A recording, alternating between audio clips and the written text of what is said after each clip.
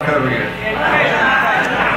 This one is called, it's like our Halloween, one of them, sort of a Halloween song, Kiss the Night Goodbye. It's the one that's got all the chords in it that you don't know. Like this one.